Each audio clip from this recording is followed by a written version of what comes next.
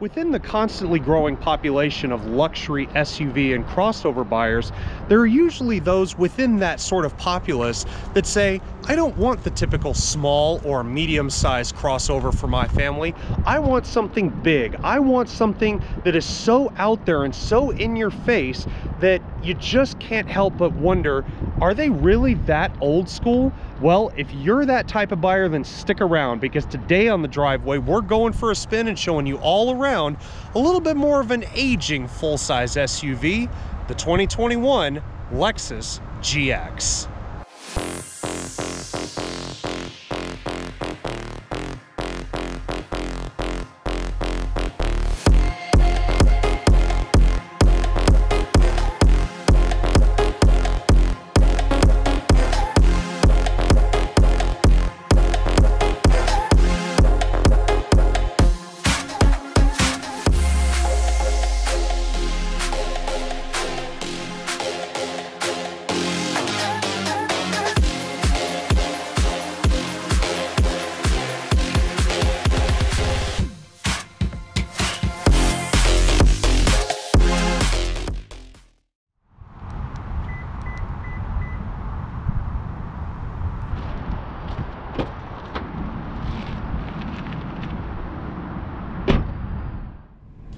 Right, ladies and gentlemen, so welcome to the 2021 Lexus GX. And the fun part about me getting to drive this vehicle is this now completes the entire set of Lexus crossovers and SUVs that I have ever driven. I have now driven every single one that the company makes, and this is the second of Lexus's V8 SUVs that I've gotten to drive. I drove the bigger version of this a few years ago, but this is the one that has sort of eluded me for a little while. But because this is such a big vehicle, it does also mean that it carries a pretty sizable price tag. And uh, even though the Monroney that I have today is digital in this case, it still does reflect the fact that this is not an inexpensive vehicle by any stretch.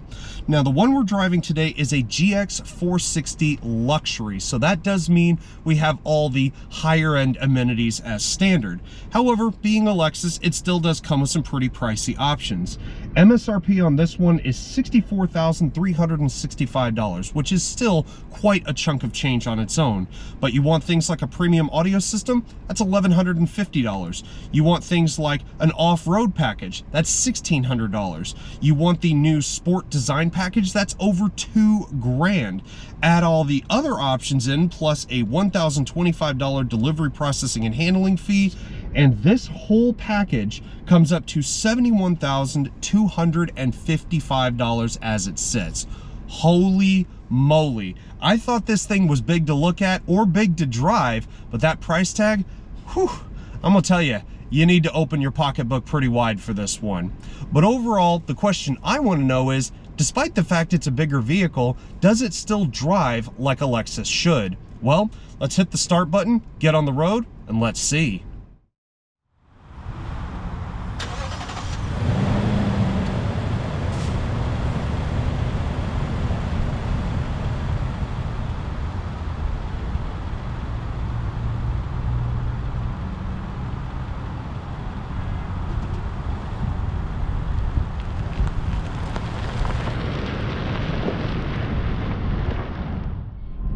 Now, if you are the type of person who lives by the statement of go V8 or go home, then the Lexus GX will fit right into your lifestyle. However, if you're looking for a V8 full-size SUV with a engine of 5 liters or more, then this car may fall short of your expectations just a hair, as it has with mine over the week that I've had it. First off, the engine is a 4.6 liter double overhead cam V8 with of course the usual variable valve timing with intelligence and all that junk, and it makes a rather lowly 301 horsepower and 329 foot-pounds of torque, which on paper and certainly from where I'm sitting doesn't feel like a whole lot, especially when you consider that as this model sits, you're looking at around 5,200 pounds curb weight. And the sort of feeling I'm getting driving this thing is like driving a less refined Mercedes G-Wagon. I've got loads of room in here, tons of headspace, but you feel like you're sitting a little bit more higher up. You kind of feel like you're sitting over the top of the wheel a little bit. And also, the ride quality isn't exactly the greatest thing out there. Currently, I have the adjustable air suspension in its most comfortable setting and the adjustable ride height in its normal setting, or sort of the middle of the road. And um, it doesn't float along a, like a cloud like I kind of expected it to. I sort of feel a lot more of the bumps and stuff like that in the road, and it's not always been my favorite part of driving the GX. Now, of course, with such a big engine and only six gears in the transmission and a full-time four-wheel drive system, the GX is not going to be your friend when it comes to going to the gas station because not only is the gas tank quite large, it also returns a lowly rating of 15 miles per gallon in the city and 19 miles per gallon on the highway. Now, during the week that we've had this truck, I've averaged, keep this in mind, averaged about 13 and a half miles to the gallon. So I would say that the EPA or even Lexus is overstating their fuel ratings by at least a couple MPGs. Now there are some benefits to the GX, which is that it still carries that sort of air of quality as you drive down the road. Despite the fact it's as big as a house and it has a motor that wouldn't look out of place in a pickup truck, it actually feels very Lexus-like. It's very quiet and on the right road surfaces, it does kind of smooth itself out a little bit, despite the fact that I can feel still some more of the bumps and little undulations in the road here and there. But overall, I mean, I've actually really enjoyed driving this truck. I feel um, very commanding when I'm on the road. Obviously, the size has something to do with that, and I just feel like I'm wrapped in more of that luxury air than I thought I was going to when I very first started driving this truck. I said it's quiet in here, but the one thing you do notice is that with such a big engine and with such big cooling needs, when you first set off in this truck and you turn the tri-zone climate control system on, you get this massive whoosh of air from this cooling system and the fans up front. And it just kind of makes me feel like I'm driving a bus a little bit, which is not such a bad thing because I do like driving a bigger truck every once in a while. At the end of the day though, let's face the facts because the Lexus GX, or at least as this one sits here, costs at least 20 grand more than a Lexus RX, which is definitely the most popular Lexus SUV currently driving on the roads today. And yes, the RX is a lot smoother in the way that not only it delivers the power, but also it doesn't need a giant V8 to get it where it needs to go. So therefore you aren't getting all of the whooshes from the cooling system or the woeful gas mileage of, you know, 15 to 17 miles per gallon on a good day. But overall, $71,000 is a lot of money to be spending on a big SUV like this. That being said, however, you are spending that money on a statement. This thing feels like it's got some real presence out on the road. So if you are the type of person who likes to go everywhere kind of shouting, look at me to everybody else on the road, well, the GX can certainly do that no problem. Now that brings me to my next point. As nice as it is to drive this big land barge of a Lexus SUV, it is even better to look at in some cases. So let's head back to our favorite little spot and talk about the rest of the details. Now, over the years, I have thought that the Lexus GX has become a very handsome vehicle. I love sort of the off-road sculpted styling that Lexus has instilled in their second largest SUV.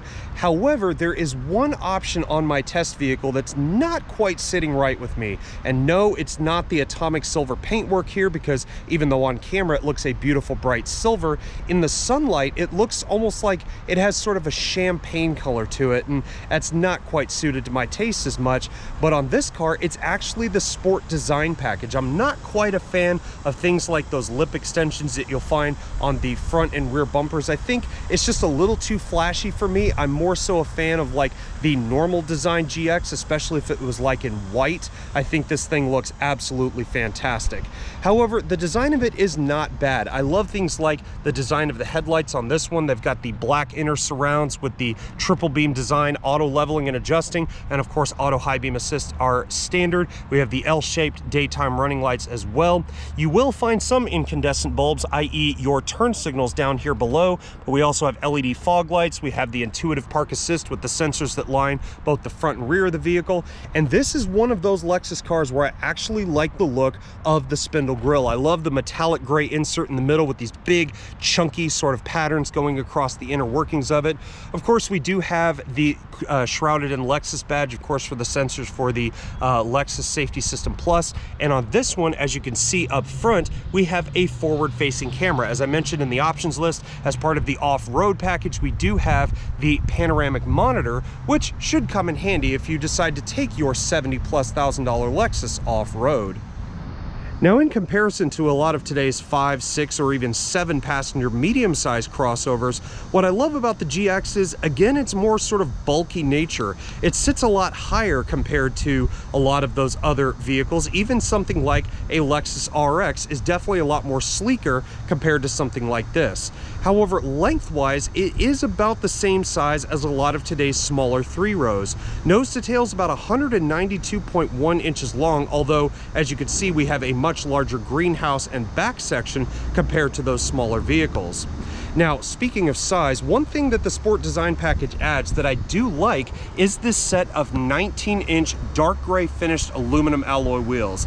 Now, if these were painted silver, I don't think I would like them as much, speaking specifically of this wheel design, but I actually think, regardless of what color it is, even the atomic silver here, I like the darker finish on these wheels down below.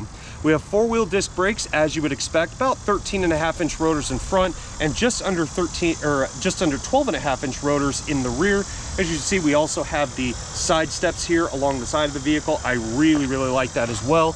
And if you look up in the wheel well here, you can see remnants of that adaptive variable suspension and the adaptive height control.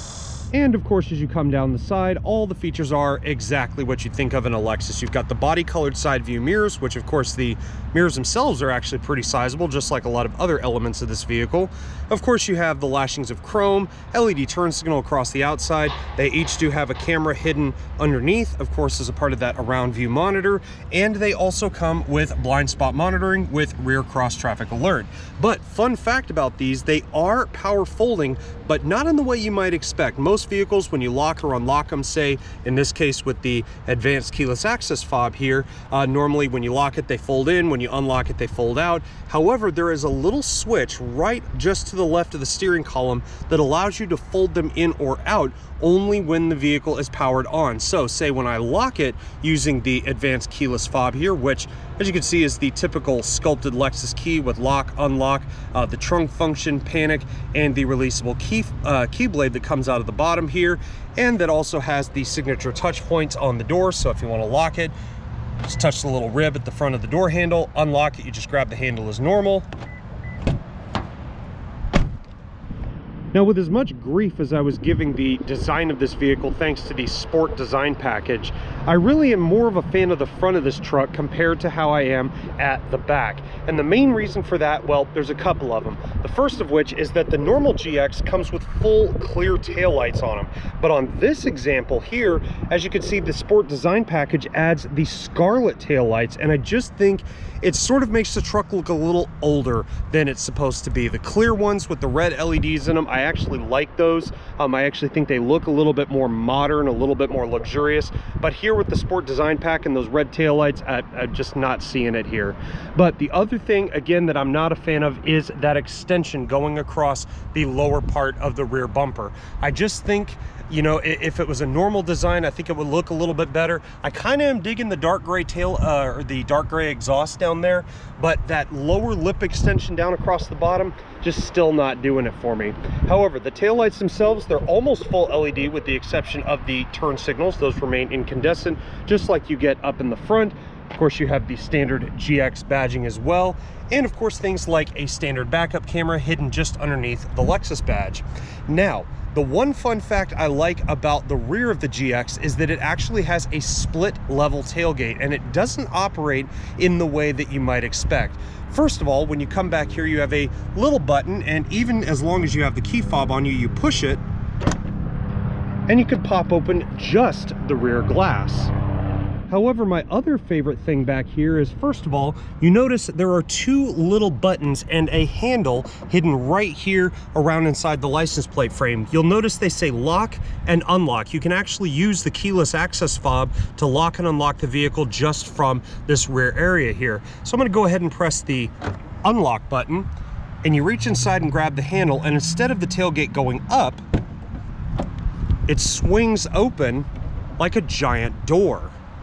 And of course, once you open that big door, you are greeted with a pretty sizable cargo area back here that actually houses a third row of seats. Now, as you can see, we have the cargo liner in place right here, so that third row of seats is hidden all the way down. If you want to bring them back up, there are a couple of buttons right here in the door frame. They will power operate and you can fold them all the way up, making this a six-seater, again, with that optional row of captain's chairs that we have on this one. But I don't exactly have all the figures compared to behind the third row, the second row, and with all the seats down. However, maximum cargo volume with everything laid in its flattest position is 64.7 cubic feet of cargo space, which is more than enough should you find yourself needing uh, to have uh, slightly uh, larger objects in the back back here. And also some other cool stuff happens when you look in the door. You have all the uh, tool storage kits hidden back here, like your jack and everything else hidden here in the door. And you also have the ability to lock or unlock this back door in place. So if you want to lock it, you just twist this little latch right here. As you can see, once it fixes itself in the lock position, that door will then stay open and you have to twist it back like that in order to close it. Now, if you thought the outside of this particular GX was not as sporty as you might want, then take a look at the inside of my test car. Okay, I know a lot of the interior pieces we've seen on Lexus products before, but take a look at this. Full red leather seats here on this particular one, and Quite frankly, I don't know about the red interior. I mean, I like it, don't get me wrong, but I think it belongs on something more like an ES or maybe a GS or something a little more sporty. On a big SUV like this, knowing the sort of demographic that gets into vehicles like this, I think the interior belongs in more of like a black or gray, maybe even something a little adventurous like the flaxen or the toasted caramel, I think would fit this interior better. But as for the red, mm, well, I'm just not digging it. Now, the front seats are heated and ventilated for both sides, which is always nice, although I have found that the ventilation part doesn't exactly work as well as I'd like it to. It sort of feels a little too uh, underwhelming in that respect. The front seats are of course heated, or not only heated and ventilated, but also power adjustable. So you have the two-way lumbar, the distance or recline, uh, the ability to raise the front of the seat up, and of course the ability to move it back and forth. You have some nice illuminated side sill plates on my test car as well, which I really like. And then as you come to the left of the steering column, we do have things such as the power tilt and telescoping mechanism that is standard on the luxury model here. We do have a few little extra buttons such as the mirror controls, including the switch that I talked about earlier, which allows you to fold the mirrors in. You also have things like your instrumentation uh, dimming, you have the odometer and trip meter, and the button that allows you to toggle through the different camera systems. You also have the heated steering wheel, automatic high beam assist, traction control, and the button that allows you to activate your headlight washers. Now, just like the outside of the GX, as much as I wanted to absolutely adore the interior, because I really do love a lot of Lexus's interiors these days, certain elements of the GX's inside feel well, a little too old. And I'll talk about what those are here in just a bit, but you still do have plenty of modern Lexus conveniences like the half leather and half uh, laminated wood steering wheel here. Of course, as I said, it is heated and it is very comfortable. I mean, I've seen this steering wheel in several other Lexus products before. You got the nice big grip extensions up here at the top, nice place to rest your hand. And of course, it is adorned with all the buttons you could possibly want, like the arrow pad for the thin film transistor display up here in the middle, nice and bright definition to that as well, along with things like the back button, the pages of a book, which allow you to toggle through various bits of information. You also have things like the distance control sensor and the button for the lane departure warning with active steering assist, not to mention the main cruise control stalk, which always hangs off the bottom right-hand corner of the steering column, which I always really like. And of course, you have your hands-free radio controls as well, like your hands-free Bluetooth, voice recognition, radio mode, seek track, and volume buttons to complete the set. Now, if there's one area out of the entire GX's interior that I dislike the most, it's right here. The 8-inch touchscreen display that quite frankly looks like it belongs in something from around say 2010 2011 although it has been updated with the latest uh, lexus Enform app suite things like that. It's not like the 12 and a half inch or so displays that normally lexus puts in like a tablet like fixture that would normally be sitting somewhere up here on the top of the dash. But in this case as you can see it's fixed in the dash and like i said only eight inches from corner to corner.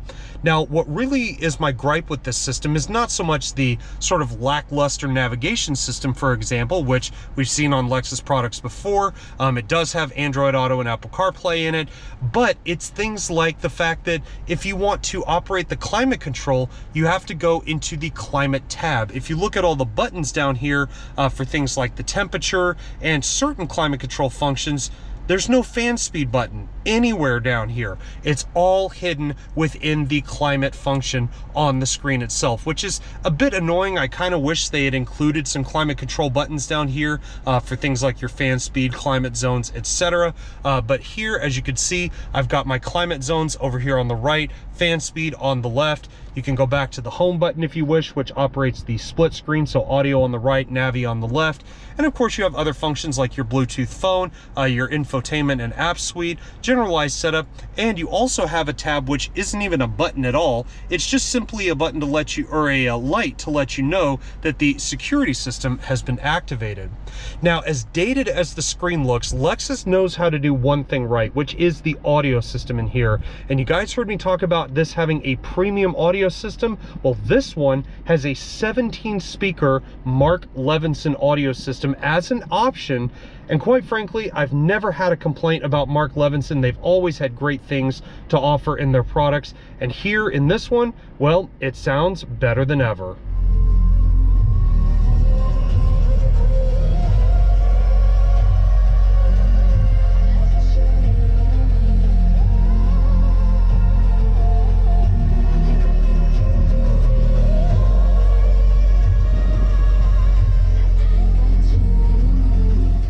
However, despite the aging infotainment system and the smaller size of the screen, you still get all the regular creature comforts of every Lexus product, such as, like I said, the around view monitor with the adjustable backup camera. As you can see, I can have it as a full widescreen or I can have it as a more narrow screen with the 360 monitor included.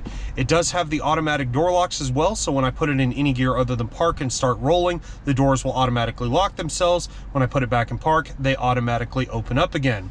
Now, with that being said, remember that camera button over by the side of the steering wheel? If I hit it again while I'm in park, as you can see, now I'm looking out the front of the vehicle and I can bring up the 360 monitor as well. As you continue a little further down, the radio functions are pretty basic as well. First of all, with a lit CD player here in the middle. Again, welcome back to the 90s, everybody. And we also have the volume and power knob and your tuning and scrolling knob. Nice, big, and chunky, just like the rest of the parts of this vehicle. Now, once you get to the GX's center console, the first thing you notice is you've got this beautiful gloss finish sort of trim here in the middle. I kind of like the metallic goldish kind of strips going through. It doesn't look like fake wood or anything like that. It's a very beautiful and uh, very elegant design to the trim here in the middle. The first thing you need to know is that you actually have a sliding cup holder or a cubby hole up here in the front, which houses your auxiliary port, two USB ports in the middle, and one 12 volt 120 watt outlet, as well as a nice little bit of storage if you need things like your masks, you need to put a place, uh, put them in a place that's nice and secure. You can go ahead and do that. And of course it is push to close as well. And you also have uh, the three stage settings for your heated and ventilated seats up here in the front as well. Now, when you move back to things like the gear selector, for example, the first thing you notice is that the gear shifter is very tall. It sits up nice and high, so especially if you're a little bit taller like me, you like resting your elbow on the center console here, it is a perfect place to rest your arm, especially when you're in sport mode, which just simply happens when you push it over to the left. You can push up to go up a gear and pull back to go down a gear. However, the main attention here in the center belongs to these four switches So we have the crawl and multi-terrain select mode, which you can only access when you're in things like reverse or drive. Uh, we also have the two four-wheel drive settings. So you push down on the switch, which is normally set in high, uh, four high, and you could push down and pull back and put it into four low. Now you also have that adjustable height control that I was talking about earlier. You push the trigger up, uh, you can put it in its highest setting, pull it back, you can go into neutral, or you could drop it all the way down into the lowest setting. And then you have the three modes for the adaptive dampening suspension. Now coming further back in the console, you have another little section here with your two sizable cup holders in it, which is actually big enough to hold a small or even a medium size bottle of Gatorade. I've actually noticed these uh, bigger bottles of Gatorade somehow will actually fit, not all the way down in, but fit comfortably here in the cup holders in the middle. However, I would recommend things like a 20 ounce bottle of soda or maybe a larger size drink from your local fast food joint if you want something to fit in there more comfortably. Now, the cool part is once you get into the center console itself right here, you have a couple of different ways you can use it. You can either open it all the way up. As you can see, I've got my key sitting right there. I've got a few other odds and ends hanging out in here as well. Or if I close it, you actually have the ability to extend the armrests out of the top right here now, because the GX is as big as it is, getting into the back seat of this vehicle is not a single problem at all. Again, we've got more of the red leather going on back here, nice and bright, just to add a little bit more of a flair to the interior. And of course, with the captain's chairs in place, it does mean that the rear seat comforts are actually quite acceptable. First of all, shut the door. You get a nice big thunk as always, and you get sort of a stadium style seating effect back here. I'm actually sitting up quite high in comparison to not only the back of the front seats, but also the dashboard itself.